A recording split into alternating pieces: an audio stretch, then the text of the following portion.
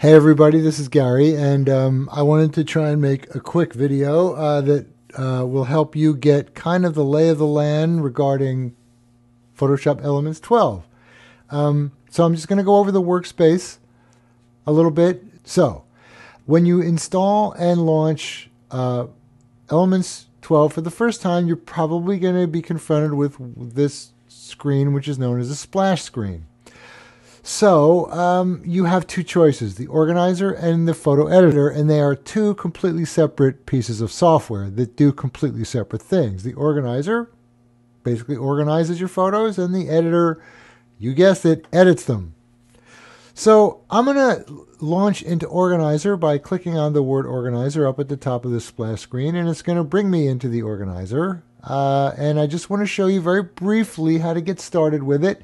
Uh, when you launch Organizer for the first time, you will be most likely confronted with a window that looks exactly like this one. So in Organizer, you basically collect all your photos into what's known as a catalog. So if you go down to the bottom right hand corner and click on My Catalog, you will open the Catalog Manager.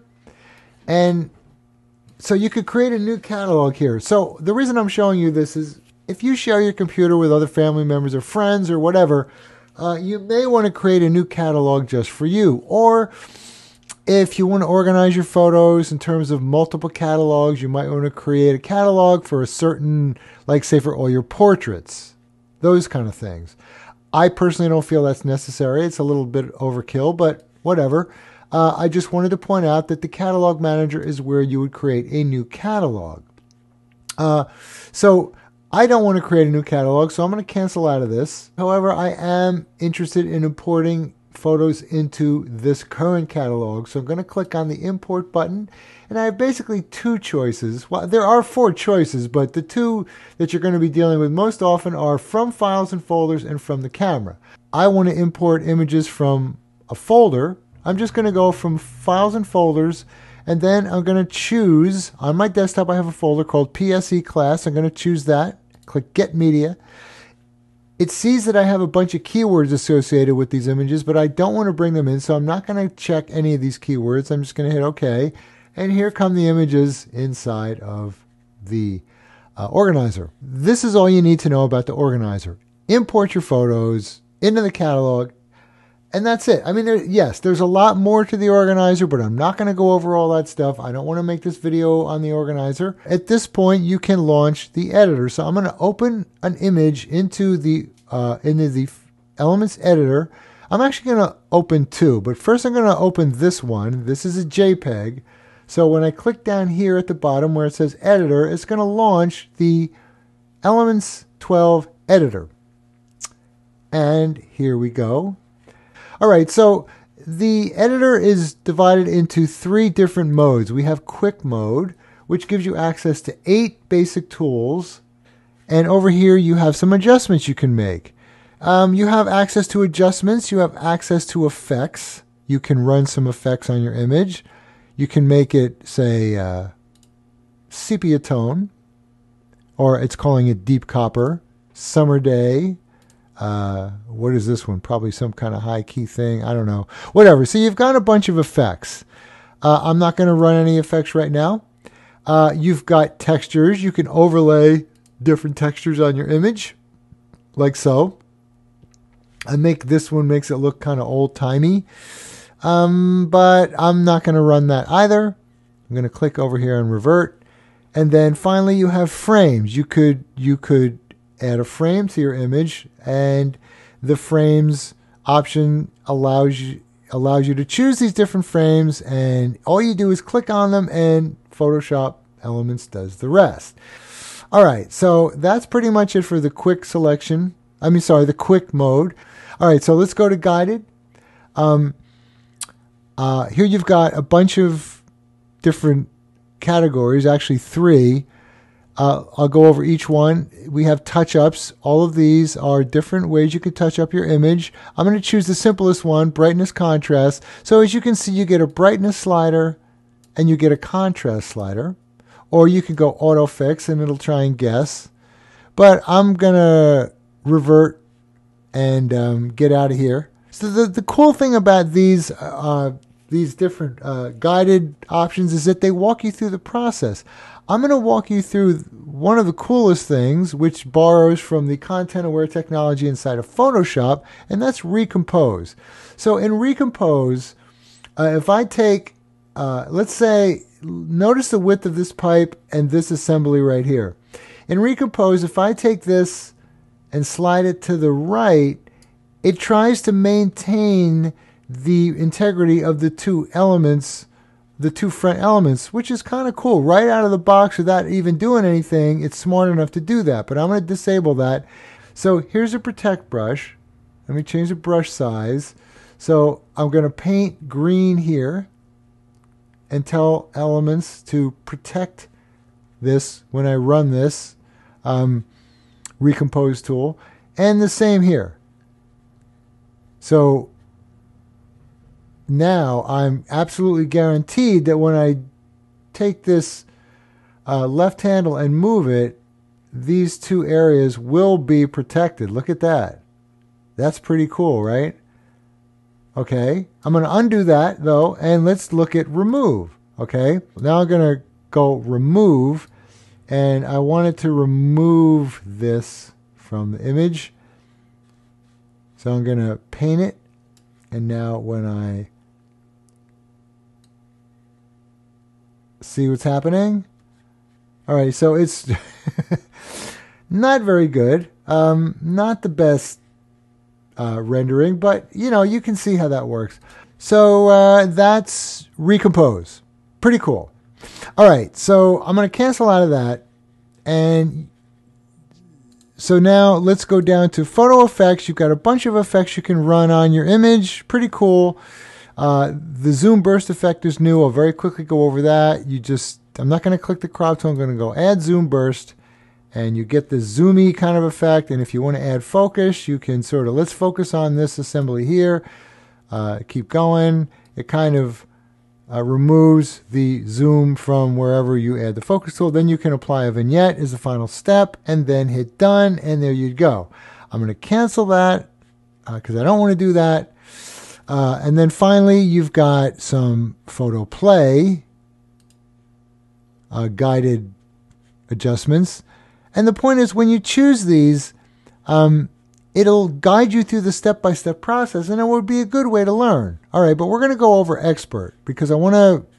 When you first launch Expert, chances are your panel looks like this. Okay, so um, Expert gives you access to all of the tools in the Tools panel. And then if I click on Tool Options down at the bottom here, uh, I get the options for whatever tool I happen to have active. Right now I've got the Content Aware Move tool, which I'm going to show you in a second. But if I were to choose the Lasso tool, I get the options for the Lasso tool, options for the Move tool, options for the Marquee tool, options for the Quick Selection tool, etc. Okay, so um, if you're familiar with elements 10 or below, the options bar used to be on top. Well, they've moved it and made it a panel, and now it's down at the bottom. But the point is, this options panel is dynamic. It changes based on the tool you select over here. So these two work together. Whatever, whatever tool I choose, the options panel will give me the options available for that tool.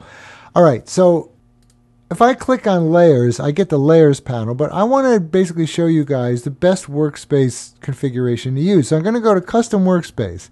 Now my layers is part of a tab set, okay? I'm going to click on this drop down menu one more time and choose adjustments.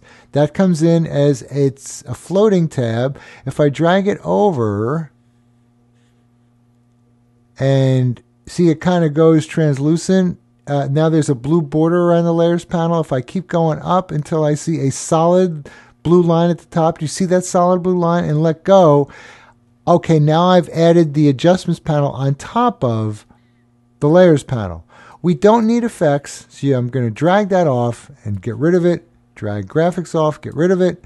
Drag favorites off, get rid of it. If I want them back, they are available to me down here at the bottom in this drop down menu, as you can see. Okay, but this is the most efficient workspace configuration.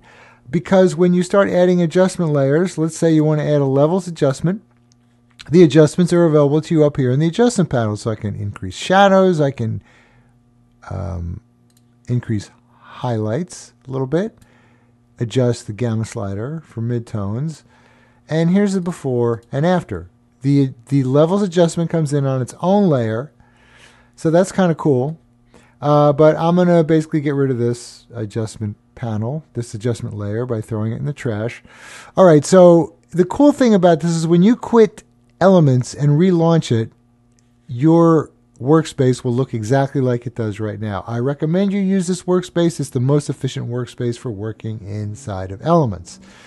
Okay, um, last thing I want to show you uh, very quickly how you can go from Organizer to Elements and back organizer to editor and back. So I'm going to click on the organizer icon down at the bottom, brings me back to elements. I'm going to launch this image right here. I'm going to, by selecting it in organizer, and now this is a raw image. Watch what happens when I click on the editor. It's going to open it into the Camera Raw plugin that comes with Elements. So this is actually a third piece of software you have a lot of adjustments you can make to your image right in the raw editor. So it's pretty cool. It's kind of a stripped down version of the more robust editor that comes with Photoshop, but nonetheless, it is a raw editor. So Photoshop Elements uh, does support raw file format. And when you're done, I'm not going to do anything in the editor here. Uh, I'm not going to go over these, that will be for a later video. But for now, I just want to point out that when I'm done editing, I would click on Open Images and it will open it into the Elements Editor. All right, so now we have two images. If I go and click on the photo bin, you can see that I've got two images open inside of Elements and they're tabbed. Here's the first one, here's the new one. Last thing I want to show you is a new tool, Content Aware Move tool. This is new to um, Elements 12. So I'm going to zoom in on this goose here, and I'm going to take my content aware move tool and I'm going to draw around this goose like so and I'm going to try and grab the shadow as well. Come up over here and then all right I wasn't very um, you know efficient with that. So I'm going to come I'm going to hold down my option key and draw inside here to subtract. So I would hold down the shift key and now I can add. And I think that's pretty good. I'm going to add a little bit here holding down the shift key. All right, so now I'm going to move with the content aware move tool. I'm going to move the goose up here and let's see what the content aware. Okay, so as you can see, um, content aware basically tried to fill in. It didn't do a very good job. We have this thing here, but not bad. You know, not bad. Let me let me zoom out so y'all can see um, what I did or what content aware did. Okay, um, that's content aware move. It's not perfect, but it's pretty cool. So that's content aware move. Pretty cool. All right, guys. I think that's it for now. I will see you later.